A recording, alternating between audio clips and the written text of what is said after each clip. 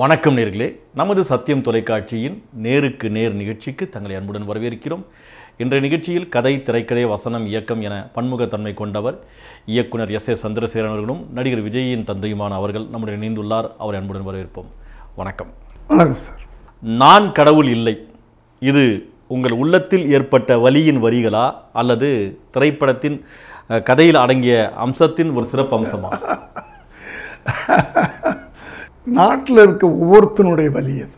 ஒவ்வொரு ஒவ்வொருத்தனும் ஒவ்வொரு விதத்தில் பாதிக்கப்பட்டுக்கிட்டு இருக்கான். ஒவ்வொரு பெண்களும் ஒரு விதத்தில் பாதிக்கப்பட்டுக்கிட்டு இருக்காங்க. ஒவ்வொரு குழந்தைகளும் ஒரு விதத்தில் பாதிக்கப்பட்டுக்கிட்டு இருக்காங்க.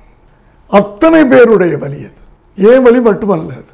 அத்தனை பேருக்கும் ஒரு சால்வேஷன் வேணும்னு ஏங்கிட்டு இருக்காங்க. யார் அந்த தப்பு பண்ணுறவங்களை அழிக்கிறது? யார் அந்த குடும்பக்காரங்களை அழிக்கிறது? ஆனால் அழிக்கணும். அழிக்கிறதுக்கு நான் கடவுளா?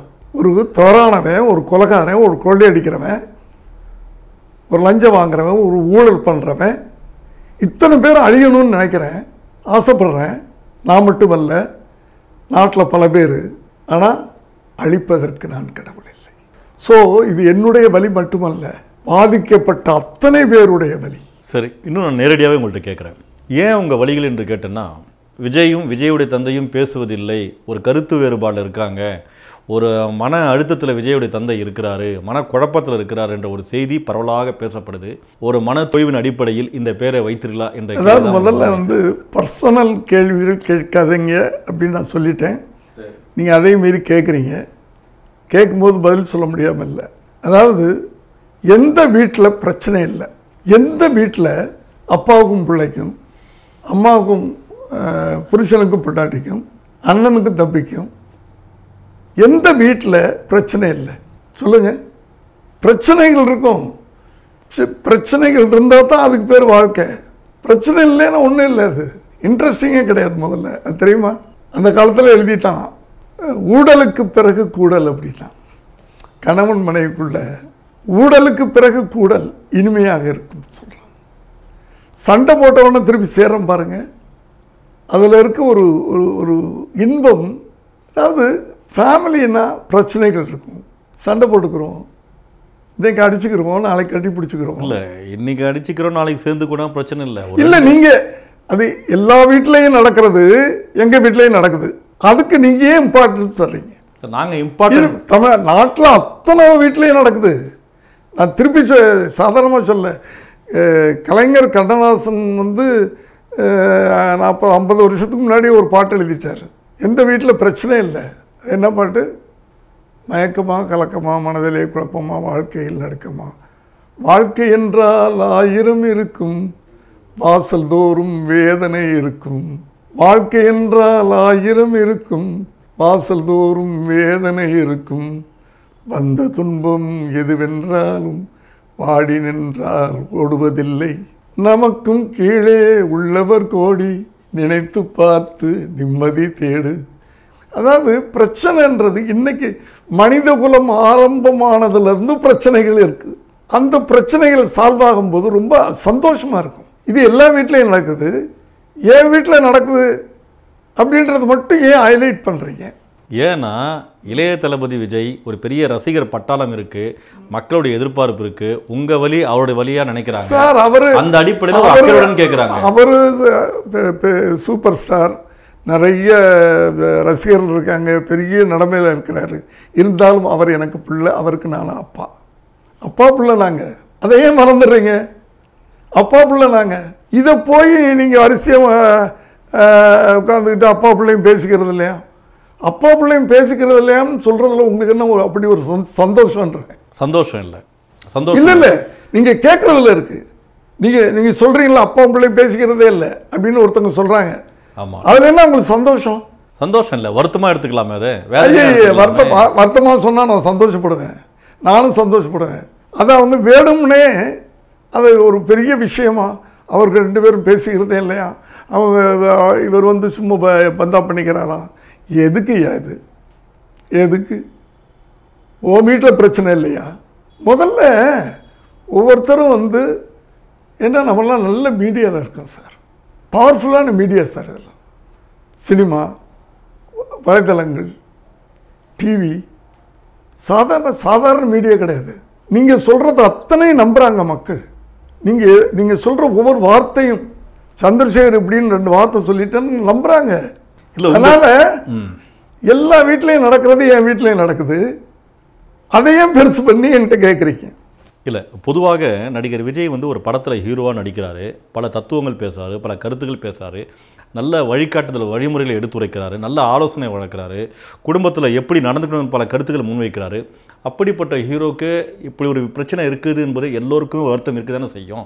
அந்த பிரச்சனை வந்து ஒரு குறுகிய காலத்தில் முடிவு நடந்தால் அது அது என்ன என்ன அஹ், பிரச்சனை என்ன எல்லாருக்கும் க வருத்தம் இருக்கும்னா அது என்ன அது அஹ், இதெல்லாம் பாசிங் கிளவுட்ஸ் ஒவ்வொரு குடும்பத்தில் நடக்கிற பிரச்சனைகள் எல்லாம் பாசிங் கிளவுட்ஸ் அப்படி மேகங்கள் போகிற மாதிரி. அப்படி போனால் விலகினா சரியாக போச்சு. சூரியனை மேகம் அப்படி வந்து கொஞ்ச நேரம் மறைச்சிக்கிட்டு இருக்கு. அப்படி போயிடுச்சுன்னா வெளிச்சம் வர வெளிச்சம் வரப்போகுது. அதுக்கு நம்ம ஏன் ஃபீல் பண்ணிக்கிட்டு இருக்கணும்? இல்லை இந்த பிரச்சனை ஒரு நீண்ட நாட்களாக நடந்து கொண்டிருக்கிறதுனால தான் கேள்விகள் வருது விமர்சனங்கள் வருது சார் நீண்ட. நாட்களாகன்றது வந்து நீண்ட வருடங்களாகன்னு கூட நீங்கள் சொல்லலாம். நான் ஒத்துக்கிறேன். நீண்ட வருடங்களாக. அதாவது ஒரு பிள்ளைங்க வந்து குழந்தையா இருக்கும்போது அப்பா என்ன சொன்னாலும் கேட்பாங்க. இல்லைன்னா அடி விழுகும். ஆமாம் இல்லையா? அதே படித்து முடிக்கிற வரைக்கும் ஒரு அப்பா அம்மானா ஒரு சின்ன பயம் இருக்கும். வேலைக்கு போய் சம்பளம் வாங்கின உடனே பிள்ளைங்களுடைய ஆட்டிடியூட் வேறு மாதிரி மாறும் சார். இது பெரும்பாலும் நான் எல்லா பிள்ளைங்களையும் சொல்ல சம்பளம்னு வாங்கின உடனே அவங்க ஆட்டிடியூட் மாறும் மாறும். அதுவும் கொஞ்சம் பெரிய லெவலுக்கு போகும்போது நிச்சயமாக அந்த அந்த சூழ்நிலை சூழ்நிலை அவங்கள மாற்றும். ஆனால் எந்த மகன் எந்த நிலைமைக்கு போனாலும் தாயும் தகப்பனும் அதே நிலைமையில் தான் இருப்பாங்க. ஏன் பிள்ளை? ஏன் மகன்? புரியுதா? அந்த உரிமையில் நம்ம நான் ஏதோ சொல்லுவோம். அவர் கேட்க கேட்கல அப்படின்னு சொன்னால் நமக்கு கோபம் வரும். நம்ம அழுத்தி சொன்னால் அவருக்கு கோபம் வரும். இது இயற்கை சார். இப்போது அதிகப்படியான கோவக்காரர் பிடிவாத பிடிக்கக்கூடியவர் விஜய்யா விஜயோட அப்பாவா? ரெண்டு பேரும். எப்படி சொல்கிறீங்க ரெண்டு பேரும். என் மகன் தானே? ரெண்டு பேரில் விட்டு கொடுத்து போக மாட்டீங்க யாரும்? சார் விட்டு கொடுக்கறதுன்றது வேற. நான் தப்பு பண்ணும்போது அவர் கோவப்படுறது அவர் தப்பு பண்ணும்போது நான் கோவப்படுறது வந்து இயற்கை. புரியுதா? இதில் விட்டு கொடுக்கறதுன்ற பேச்சுக்கு வராதீங்க. நிறைய நான் அவருக்காக விட்டு கொடுத்துருக்கேன். அவர் நிறைய எனக்காக விட்டு கொடுத்துருக்காரு. பெரிய பெரிய விஷயங்கள்லாம் விட்டு கொடுத்துருக்காரு எனக்காக. அதெல்லாம் நம்ம சொல்ல முடியாது வெளியில் அப்படியாப்பட்ட ஒரு தங்கமான பிள்ளையை நீங்கள் பார்க்கவே முடியாது. அப்பனுக்காக நிறைய சாக்ரிஃபைஸ் பண்ணியிருக்கார். அதே போல் அவருக்காக நான் நிறைய சாக்ரிஃபைஸ் பண்ணியிருக்கேன். ஒரு சில விஷயங்கள் சொல்ல முடியுமா? அது அதிகப்படியா நிறைய இல்லை இல்லை நான் வந்து ப பர்சனல் லைஃப் அதோட கட் பண்ணுவோம். விஜய்க்கு வந்து பேர் வைத்தது ஒரு பெரிய ஒரு கருத்தா இன்னைக்கு ஊடகத்தில் பேசப்படுது. பேர் வைத்தது யார்? விஜய்க்கு. விஜயுடைய அப்பாவா விஜயுடைய தாத்தாவா அல்லது ஒரு ஸ்டுடியோவுடைய நிறுவனரா என்ற பல்வேறு கேள்விகள் ஓங்கி வருது. இதுல எது உண்மை எது பொய்? அதாவது வடபழனி கோயிலில் அவங்க தாத்தா எங்கள் அம்மா குழந்தை எல்லாரும் வச்சுக்கிட்டு பேர் வைக்கிறோம் ஷோபா வயிற்றில் அவர் கருவான உடனே அந்த காலத்துலலாம் வந்து ஆளாம் பெண்ணான்னு சொல்லிடுவாங்க அப்போல்லாம் அப்போ இந்த ரெஸ்ட்ரிக்ஷன் கிடையாது கவர்மெண்ட்டு சொல்லக்கூடாதுன்றது. ஸோ ஆண் குழந்தைன்னு தெரிஞ்ச உடனேயே விஜய் அப்படின்னு நான் பேர் வச்சுட்டேன். ஓ பிறப்பதற்கு முன்பே. பிறக்கிறதுக்கு முன்னாடி கருவில் இருக்கும்போதே விஜய்னு பேர் வச்சிட்டேன். ஏன்?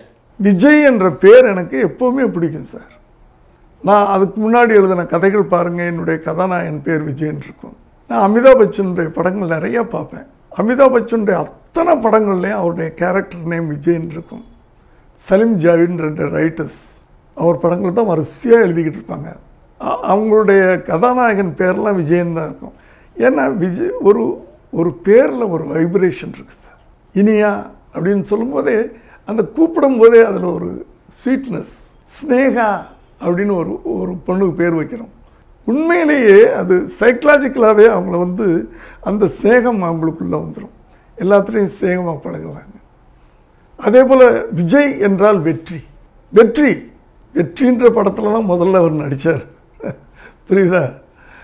அதனால் ஒரு ஒரு ஒரு வெற்றிகரமான வாழ்க்கையில் அவர் வரணும் அப்படின்னு நினச்சி அந்த பேரை வைக்கிறோம்.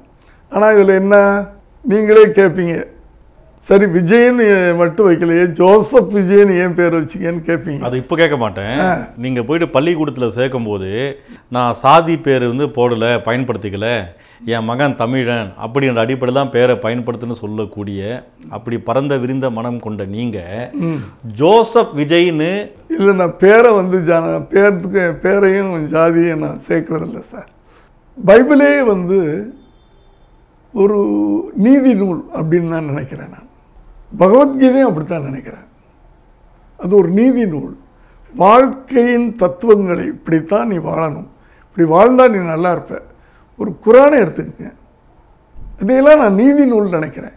மத நூல்ன்றது அவங்கவுங்க எண்ணங்களை பொறுத்தது. என்னை பொறுத்த வரைக்கும் சந்திரசேகரை பொறுத்த வரைக்கும் இதெல்லாம் நீதி நூல். நீ நல்லது பண்ணணும். நீ அடுத்தவங்களோட அன்பாக இருக்கணும். அப்படின்னு தான் பா நான் பார்க்குறேனே தவிர ஒரு பேரில் நீங்கள் ஏன் மதத்தை கொண்டாடுறீங்க? நான் கொண்டு வரல. நீங்கள் கொண்டு வந்திருக்கீங்க. விஜய்ன்ற பேர் பக்கத்தில் ஜோசப் விஜய்னு கொண்டு வரீங்க. ஐயா, என்ன? ஐயையோ நான் திருப்பி சொல்கிறேனே நான் விஜயன்ற பேர் இது ஜோசப்ன்ற பேரை நான் என்ன கோயிலில் கொண்டு வச்சேன்னா வடபழனி கோயிலில் கொண்டு போய் பேர் வைக்கிறேன் நான். அங்கேயே புரிஞ்சுக்கிறீங்களா? எத்தனை வருஷத்துக்கு முன்னாடி நாற்பத்தேழு வருஷத்துக்கு முன்னாடி அவர் பிறந்திருக்கிறாரு. வடபழனி கோயிலில் நான் பேர் வைக்கிறேன். வடபழனி கோயிலில் முருகன் கோயிலில் நான் பேர் வைக்கிறேன். என்கிட்ட ஃபோட்டோ இருக்குது புரியுதா? அப்போவே நாம் வந்து ஜ மதம் பார்க்கலன்னு உங்களுக்கு தெரியுது புரியலையா? அப்போ நான் வந்து ஜோசப்னா நான் சர்ச்சில் பேர் வச்சுருந்துருக்கணும். அங்கேயே புரியலையா? நான் மதத்தை பற்றி கவ கவலைப்படலன்னு. ஏன் சர்ச்சில் வைக்கல? சார் எனக்கு எல்லாம் ஒன்று தான் சார். இதில் இதில் இதில் ஒரு விஷயம் இருக்குது சார். அதாவது எங்கள் அம்மா கிறிஸ்தவ குடும்பத்தில் ஷோபாவுடைய ஃபேமிலி இந்து குடும்பத்தில் அவங்க தாத்தா நீலகண்டன். நான் விஜயன் பேர் வைக்கிறேன். அவர் விஜய வேல்னு வச்சுக்கலாமான்னு கேட்குறார் விஜய வேல்னு அவர் சொல்லுவார். ஸோ அவரை திருப்திப்படுத்தணும் நான். ஒரு தாத்தா. ஒரு தாத்தா அவருக்கு முதல் பேரன். விஜயவேல்னு சொல்கிறார் ஓகே வச்சுக்கோங்க. எங்கள் அம்மா சொல்கிறாங்க ஜோசப் விஜய். எனக்கு கிறிஸ்டியனில். வச்சுக்கோங்க. நான் விஜயன் தான் கூப்பிடுவேன். அதாவது ஒரு ஒரு ஒரு ஒரு பேரனுக்கு இப்படி தான் பேர் வைக்கணும்னு ஆசைப்பட்றாங்க. வச்சுக்கோங்க. அவங்க ஆசை. இவர் விஜய் வேல் அப்படின்னு. நல்லது தான் வெற்றி வேல் விஜயவேல். இதெல்லாம் வந்து அடுத்தவங்களை சந்தோஷப்படுத்துறதுக்காக திருப்திப்படுத்துறதுக்காக சில விஷயங்களை பண்ணுறமே தவிர நான் யார்? சந்திரசேகர் என்பவனுக்கு மதம் கிடையாது. மனிதம் தான். இல்லை மத நம்பிக்கை இல்லையா? கடவுள் நம்பிக்கை இல்லையா? ஐயோ கடவுளுக்கு ஏன் மதத்துக்கும் கடவுளுக்கு நம்பிக்கை இழுக்கு இழுக்கிறீங்க? சம்மந்தம் இல்லாமல் என்ன மாதிரி கடவுள் நம்பிக்கை உள்ளவன் எவனும் கிடையாது. காலையில் ஒன்றரை மணி நேரம் ப்ரேயர் பண்ணுறான் இப்போ இல்லை. கடந்த முப்பது நாற்பது வருஷங்களா? எந்த கடவுள்னு கேளுங்க. எந்த கடவுள்? எனக்கே தெரியாது பேர். புதுப்படியாக பண்ணுறீங்க நான் கண்ணை மூடினா கடவுள் முன்னாடி வந்து நிற்கிறார் உலகத்துக்கே தகப்பன். அந்த தகப்பன் முன்னாடி வந்து நிற்கிறார் அந்த தகப்பனுக்கு பேர் வைக்க தெரியல அது. அப்பா அப்படின்னு கூப்பிட்டா வந்து என்னடா உனக்கு என்ன வேணும் இன்னைக்கு? அப்படின்னு கேட்குறாரு அன்னைக்கு நான் இது பண்ணணும். அப்படின்னா நடக்குது. சரி நீங்கள் மட்டும் அப்படியா? நடிகர் விஜயும் அப்படிதானா அது அவ- அவர்கிட்ட தான் கேட்கணும். அவர்கிட்ட தான் கேட்கணும். இல்லை என்ன மாதிரி தான் என் ஜீன் இருக்கணும் அப்படி தான் இருப்பாங்க. என்னுடைய வாழ்க்கையும் அதுதான் கண்ணை மூடிட்டேன்னா என் அப்பன் எனக்கு முன்னாடி வந்து நிற்கிறான். அப்பந்தான் பிள்ளைக்கு பேர் வைக்கணுமே தவிர பிள்ளை அப்பனுக்கு பேர் வைக்க முடியாதுல்ல. ஸோ அப்பனுக்கு பேர் வைக்கிறதுக்கு நான் யார்? உலகத்துக்கே அப்பேன். உலகத்துக்கே அப்பேன். அப்பா! அப்படின்னு கண்ணை மூடிட்டு கூப்பிட்டா பக்கத்தில் உட்காந்துக்கிட்டு என்ன வேணும் உனக்கு? இன்னைக்கு என்ன வேணும்? அன்றைக்கி இது நடக்கணும் இது நடக்கணும் இது நடக்கணும். எனக்கு தேவையானதை நான் அப்பன்ட்ட கேட்குறேன். சாதாரணமாகவே நீங்கள் ஃபேமிலியில் எடுத்துக்கிட்டிங்கன்னா ஒரு பிள்ளை அப்பன்ட்ட வந்து ஒரு சட்டை வேணும்னு கேட்குது ஒரு ஏழை தகப்பேன் அவனால் முடியல. இல்லைடா சட்டை இல்லைடா காசு இல்லைடா. இல்லை எனக்கு வேணும். அப்படின்னு. பணம் இல்லைன்னு சொல்கிறேன்ல இல்லை எனக்கு வேணும் இல்லைன்னா நான் சாப்பிட மாட்டேன் அப்படின்னு அழுக ஆரம்பித்த உடனே எப்படியாவது கஷ்டப்பட்டு அந்த சட்டையை வாங்கி கொடுத்துறான்ல அவன் தானே தகப்பேன். நிறைய விஷயங்கள் வந்து உங்கள் சொந்த விஷயங்கள் கேட்கக்கூடாதுன்னு சொல்லிட்டீங்க. அதெல்லாம் கேட்கல. இருந்தாலும் ஒரு எல்லை தாண்டி கேட்குறேன். நீங்களும் விஜயும் பேசிட்டீங்களா? பேசி கொண்டு இருக்கிறீங்களா இந்த கேள்வி எதுக்கு சார்? இல்லை பிரச்சனை இருக்குது பிரச்சனை இருக்குன்னு சொல்கிறீங்களே இப்போ பேசுகிறீங்களா பேசி கொண்டு இருக்கிறீங்களான்னு கேட்குறேன். நாங்கள் இன்றைக்கி பேசிக்கிறோம் நாளைக்கு பேசாமல் இருப்போம். அது எதுக்கு அது ரசிகர்களுடைய முதல்ல எதுக்கு சார். ரசிகர்களுக்கு ரசிகர்களுக்கு விஜய் அண்ணன் நான் அப்பா. அவையில் எந்த மாற்று கருத்தும் இல்லை. நீங்கள் யார்கிட்ட போய் கேட்டாலும் என்னை அப்பான்னு கூப்பிடுறாங்க பத்திரிக்கையில் என்ன செய்தி வருதுன்னா ஊடகத்தில் எல்லாத்துலேயும் எஸ். எஸ். சந்திரசேகர் தன் குடும்ப பிரச்சனையை வெளிப்படையாக மனம் திறந்து பேசிவிட்டார். என்ன மனம் அப்படின்னு சார் நான் எப்போவுமே உண்மையாக இருப்ப இருக்கிறேன் சார். உண்மையை பேசுகிறவன் உண்மையை பேசுகிறவன் இன்னைக்கு நானும் விஜயும் பேசலை. பேசல. இன்னைக்கு நானும் விஜயும் பேசிக்கிறது இல்லை அப்படின்னு நீங்கள் கே கேட்டிங்கன்னா ஆமாம்பேன் நாளைக்கு பேசுவீங்களான்னு கேட்டால் கட்டி பிடிச்சிக்கிறோம். அப்போ அணைச்சிக்கிறோம். அப்போ இன்னைக்கு நீங்களும் விஜய் பேசல. ஏன்னா இன்னைக்கு நான் இன்னைக்கு நானும் விஜயம் பேசிக்கிறது இல்லை உண்மைதான். நான் அந்த உண்மைகளை எல்லாம் மறைக்கிறது இல்லை சார். ஏன் சார் ஒரு பொய்யான வாழ்க்கை வாழணும் நம்ம? நான் எனக்கு ஒரே புள்ள அவருக்கு ஒரே அப்பா. எங்களுக்குள்ள இன்னைக்கு பிரச்சனை. நாளைக்கு சால்வ் பண்ணிட்டு நாங்கள் ரெண்டு பேரும் ஒரே வண்டியில் போவோம் ஒரே ஒரே இடத்துல கூட ரெண்டு வருஷம் ஆயிடுச்சு. என்ன ரெண்டு வருஷமா யா ரெண்டு வருஷமா நாங்கள் பேசலைன்னு உங்களுக்கு தெரியுமா? இல்லை அதனால தான் கேட்டேன். ஆ அதான் சொன்னேன் அந்த பர்சனலாக நான் சொல்ல விரும்பலை. சரி. ரெண்டு வருஷமா பேசலைன்னு உங்களுக்கு தெரியுமா? இதுக்கு இடையில எத்தனை வாட்டி நாங்கள் மீட் பண்ணியிருக்கோன்னு உங்களுக்கு தெரியுமா? அதையே நான் சொல்லணும். இப்போ நீங்கள் மற்றவர்கள் வச்சு படத்தை இயக்குறீங்க மற்ற ஹீரோகளை வந்து நீங்கள் வளர்த்து விட்றீங்க அந்த அடிப்படையில் வந்து வேற ஒரு கடத்தில் நீங்கள் நிற்கிறீங்க ஏன் அந்த பணியை விஜய்க்கு வச்சு இன்னும் இன்னும் விஜயை உயர்த்தலாமேன்ற ஒரு கேள்வி இருக்கு இல்லையா? அதுக்கு நிறைய இள இளம் டைரக்டர்ஸ் இருக்காங்க சார். அவரோட அஹ், அந்த ஜெல்லாகி பண்ணுறதுக்கு நிறையா இளம் இயக்குனர்கள் அவரை தூக்கிட்டே போகிறாங்க தூக்கிட்டே போகிறாங்க அதை பார்த்து நாங்கள் சந்தோஷப்படுறோம். சரி உங்களுக்கு எண்ணம் இல்லை? விஜய்க்கும் அந்த எண்ணம் இல்லையா? அப்பா இயக்கட்டும் ஒரு படம் நடிக்கலாம். இல்லை இருக்காது சார். நான் வந்து நான் நீங்கள் தான் சொன்னீங்கல்ல நானும் பிடிவாதக்காரன் அவரும் பிடிவாதக்காரன். நானும் கோவக்காரன் அவரும் கோவக்காரன். எ- எதுக்கு தேவையில்லாமல் சரிப்பட்டு வராதுன்றீங்க. நான் கடவுள் இல்லை. இந்த படம் உருவாக்குவதற்கு அடிப்படை காரணம் என்ன? திடீர்னு இந்த படத்தை இயக்குவதற்கான காரணம் என்ன? எந்த நோக்கில் எந்த அடிப்படையில் இன்றைய காலகட்டத்தில் இன்றைய களத்தில் நீங்கள் நிற்கிறீங்க அதாவது எனக்குன்னு ஒரு ஜோனரில் நான் நான் சினிமாவுக்கு வரும்போது ஒரு சமூக நோக்கத்தோடு வந்தேன். ஏன்னா எனக்கு பத்து வயசாக இருக்கும்போது சிவாஜி கணேசனுடைய முதல் படம் பராசக்தி கலைஞர் வசனம். போய் அந்த படத்தை பார்த்துட்டு வீட்டில் வந்து அடியெல்லாம் வாங்கியிருக்கிறேன். அந்த படத்தை வந்து நான் நினைக்கிறேன் ஒரு ஒரு பன்னெண்டு தடவை பார்த்துருப்பேன். அடி வாங்குவேன் திருப்பி போய் படத்தை பார்ப்பேன். திருப்பி போய் வீட்டில் வந்து அடி வாங்குவேன். ஏன்னா அந்த நெருப்பு மாதிரி இருக்கும் வசனங்கள். இல்லையா? அவர் நடிப்பு. அன்னைக்கு நான் நினச்சேன் நான் ஒரு எழுத்தாளன் ஆகணும்ட்டு அந்த பத்து வயசுலேயே வந்துருச்சு. போக போக அப்படியே அந்த அந்த இது வந்து அப்படி வேரூன்றி சினிமாவில் ஒரு எழுத்தாளன் ஆகணும் முதல்ல எழுத்தாளன் ஆகணும் டைரக்டர் ஆகணும்னு கூட கிடையாது. கலைஞர் மாதிரி பூனை புளியை பார்த்து பூனை சூடு போட்டுக்குச்சுன்னு சொல்கிற மாதிரி. ஆனால் அவர் அவர் ஒருத்தரை பார்த்து நமக்கு ஒரு ஐக்கான்னு சொல்லுவோம்ல. நமக்கு முன்னுதாரணம். அப்படி ஒரு எழுத்தாளன் ஆகணும்னு ஆசைப்பட்டேன். அதே மாதிரி சினிமா வந்து முதல்ல எழுத்தாளன் ஆனேன் ஒரு கதையை கொடுத்தேன். ஒரு ப்ரொடியூசர் வேறு டைரக்டர் வச்சு ஒரு ப்ரொடியூசர் அந்த படத்தை எடுத்தார். டைரக்டர் ஆனேன் அந்த சட்டம் ஒரு இருட்டறை. அறிஞர் அண்ணாவுடைய வார்த்தை அது. சட்டம் ஒரு இருட்டறை அதில் வக்கீலின் வாதம் விளக்கு. வக்கீல் கரெக்டாக ஆர்கியூ பண்ணால் நியாயம் கிடைக்குது. வக்கீல் சரியில்லைன்னா நல்லவன் கூட தண்டிக்கப்பட்டுருவான். இது அறிஞர் அண்ணா சொன்னது. அவரை வச்சு ஆரம்பித்தேன் என் லைஃப் சினிமா இல்லையா? அப்படி எல்லா படங்களும் பல படங்கள். நான் சிகப்பு மனிதன். இப்போ இதே நான் சிகப்பு மனிதன் வந்து இதே இவருடைய இந்த நாலு வார்த்தை சொன்னேன்ல. எப்போதெல்லாம் தர்மம் அழிந்து அதர்மம் தலை அப்போதெல்லாம் நான் மீண்டும் பிறந்து வருவேன். அதில் வந்து ரஜினி வந்து ரஜினி சார் வந்து ஒரு ப்ரொஃபஸர் இல்லையா? ப்ரொஃபஸர் பசங்கள்கிட்ட சொல்லுவார் இந்த இதை.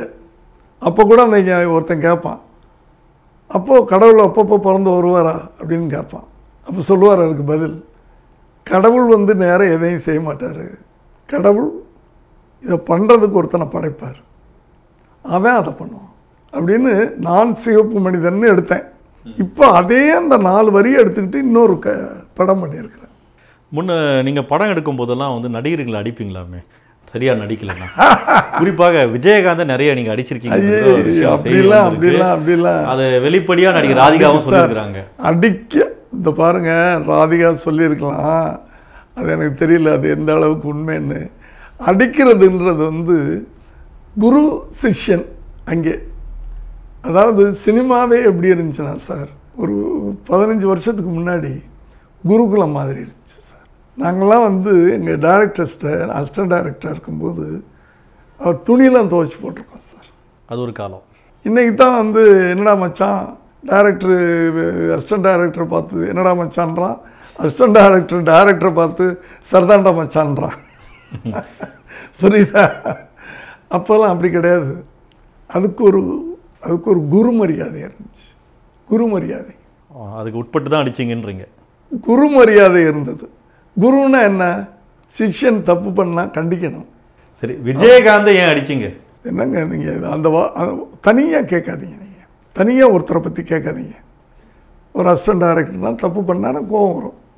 அதே போல் ஒரு நடிகராக இருந்தாலும் தப்பு பண்ணால் கோவம் வருமே தவிர அவரை போய் நான் அடிக்கணும்னு வீட்டில் இருந்து பிளான் பண்ணிக்கிட்டு இன்னைக்கு இவரை அடிக்கணும் அப்படின்னு புறப்பட்டு வந்ததில்லை. புரியுதா? கோவப்பட்டு திட்டியிருக்கேன் நான். விஜயகாந்தை அடித்ததான் எனக்கு ஞாபகம் இல்லை. சரி அப்போல்லாம் திட்டுவீங்க? இல்லை அடிச்சுக்கிறோம் இருக்கலாம் அந்த காலத்தில். இப்போ இயக்கும்போது அது உங்களுக்கு தர்ம சங்கடமா இல்லையா? ஒரு தவறு செய்யும்போது நம்மளால் கண்டிக்கவும் முடியலையேன்னு? இல்லை கண்டிக்கிறீங்களா? இல்லை இல்லை இப்போவும் கண்டிக்கிறேன். இப்போவும் கோவப்படுறீங்க. கோ- கோபம்ன்றது சார் ஒவ்வொரு மனிதர்களுக்கும் பிறக்கும்போதே சில ஸ்டாரில் பிறக்கிறோம். அந்த ஸ்டாருக்கு உண்டான பவர் இருக்குது அது வந்து சயின்ஸ் இந்த ஜாதகமோ அது இதெல்லாம் வந்து உண்மையாக கரெக்டாக பார்க்குறவங்களுக்கு சயின்ஸ் ஒரு சிம்மராசி அப்படின்னு சொன்னால் நீங்கள் சிம்மராசின்னு போட்டால் அதுக்குள்ள என்ன அடையாளம் வரும் அப்படின்னு சொன்னால் என்ன வரும்? சிங்கம். சிம்மராசினா சிங்கம். சிங்கம். அப்போ அந்த ராசியுடைய அந்த பிளானட் அந்த நட்சத்திரம்ன்றது இருக்குல்ல பாருங்க. அந்த கோள் அந்த நட்சத்திரத்தில் நான் பிறக்கிறேன் அப்படின்னு சொன்னால் அதனுடைய பாதிப்பு என்கிட்ட இருக்கும் சார். இது சயின்ஸ் அது நம்புற நம்புறதுல சயின்ஸுன்றேன் அப்புறம் நீங்கள் இது நம்புறது வந்து மூட வழக்கம் இல்லை. இட்ஸ் அ சயின்ஸ் இல்லை ஒரு பக்கம் இது ஜாதகம்ன்றாங்க ஒரு பக்கம் அறிவியல்ன்றாங்க மற்றொரு பக்கம் இது மூடத்தனம்னு சொல்கிறாங்க சார் என்னை பொறுத்த வரைக்கும் சயின்ஸ் சார். ஒரு பிளானட் இப்படி இங்கே போகும்போது அதுக்கு ஒரு இது. இப்போ சந்திரன் மூடும்போது அதுக்கு ஒரு அன்னைக்கு ஒரு நாள். அந்த நேரத்தில் சாப்பிடக்கூடாதுன்றாங்க. இதெல்லாம் வந்து மூடப்பழக்கம் இல்லை. மூடப்பழக்கம் இல்லை. அந்த நேரத்தில் நீ சாப்பிட்டீங்கன்னா ஜீரணமாகாது. அப்படின்றது. எல்லாமே சயின்ஸ் அது. உண்மையாக ஜாதகம் பார்க்க தெரிஞ்சவன் சயின்டிஸ்ட் சும்மா ஒரு பொய்யா நிறையா பேர் பார்த்தாங்கன்னா அது வந்து சரி சயின்ஸ்லாம் நீங்கள் பேசுகிறீங்க பெரியாரை எப்படி பார்க்குறீங்க? பெரியாருடைய கொள்கை எப்படி பார்க்குறீங்க? திராவிட சித்தாந்தத்தை எப்படி பார்க்குறீங்க? இப்ப இன்னைக்கு வரைக்கும் நான் வந்து திராவிட கழக உறுப்பினர் சார் அப்படிங்களா? எனக்கு பெரியாரை பிடிக்கும். புரியுதா? நீங்கள் சொல்லக்கூடிய அவருடைய- நீங்க- நீங்க சொல்லக்கூடிய அறிவியல் எல்லாம் பெரியார் எதிர்த்தவர். எது? இந்த ஜாதகம் சயின்ஸு சொல்கிறீங்களே இதை வந்து பெரியார் எதிர்த்து இல்லை இல்லை இல்லை இல்லை. அந்த காலத்தில் இந்த ஜாதகத்தை சயின்ஸ்னு யாரும் சொல்லலை. ஜாதகத்தை வேறு மாதிரி திசை திருப்பிக்கிட்டு இருந்தாங்க. அதனால் அதெல்லாம் எது அவர் எதையுமே எதுக்கல சார் அவர். அவர் நீ உழடா முன்னுக்கு வரலாம் அப்படின்னு தான் சொன்னாரே தவிர அவர் ஒரு தத்துவமே ஒரு வித்தியாசமான ஒரு தத்துவம் ஒரு முற்போக்கான ஒரு சிந்தனை கொண்டவர். உழைங்க கஷ்டப்படுங்க வாழ்க்கையில் உயருங்க. ஸோ நான் வந்து எனக்கு பெரியாருடைய பெரியாரிசம் ரொம்ப பிடிக்கும். அதனால தான் வந்து திராவிட கழகத்தில் நான் உறுப்பினராகி இன்னைக்கு வரைக்கும் அதிலிருந்து நான் மாறல. சரி. ஆனால் அவருடைய சித்தாந்தங்கள் கொஞ்சம் கொஞ்சமாக அப்படி மாறி வளர்ச்சி அடைஞ்சு வேற மாதிரி வந்துருச்சு. சரி. நான் கடவுள் இல்லை. படத்தில் என்ன தான் சொல்ல வரீங்க? இப்போ தான் சொன்னீங்க நான் பெரியார் கொள்கையை ஏற்றுக்கொண்டேன்னு சொன்னீங்க. அந்த அடிப்படையில் நான் கடவுள் இல்லைன்னு சொல்கிறீங்களா இல்லை எந்த அடிப்படையில் சொல்கிறீங்கன்ற கேள்வி வருது. படத்துடைய நிலை என்ன? எப்போதெல்லாம் தர்மம் அழிந்து அதர்மம் தலை தூக்குகிறதோ அப்போதெல்லாம் நான் மீண்டும் பிறந்து வருவேன். இருக்கு. கீதையில் இருக்கு. கீதையில் இருக்கு.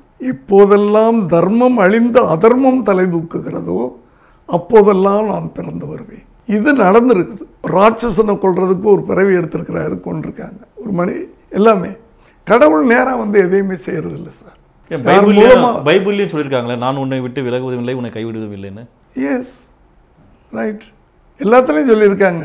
நீங்கள் எல்லாம் படிங்க. எல்லாத்துலேயும் ஒரே மாதிரி தான் இருக்குது இந்த பகவத்கீதை கோடிட்டு காமிச்சதுனால சொன்னேன். அதுவும் எஸ் எஸ் சந்திரசேகரன்ட்ட ஏன் பைபிளை பற்றி முன்னிலைப்படுத்தலன்றதால அந்த கேள்வி முன் வச்சேன் பைபிளை பற்றி விளக்கம் கொடுத்துட்டீங்க. பைபிளை பற்றி நான் சொன்னேன்னா நீ கிறிஸ்தவனா அப்படின்றீங்க. நான் கீதையை பற்றி சொன்னா நீ என்ன இப்படி கேட்குறீங்க எனக்கு புரியல எனக்கு. நல்ல விஷயங்களை நம்ம ஜீர்ணிக்கணும் சார். என்ன இந்த படத்தில் என்ன இந்த புதுமை உங்க இருக்கு?